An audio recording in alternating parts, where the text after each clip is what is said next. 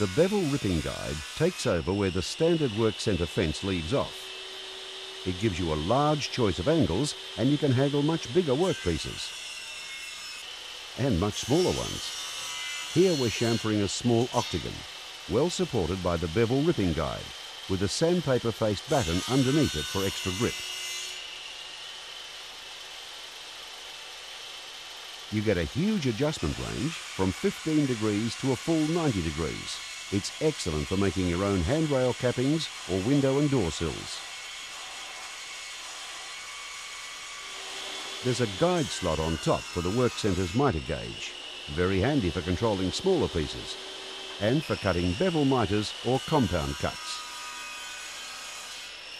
The instruction sheet even gives you the correct angle settings for most common shapes, so your jobs will turn out perfectly.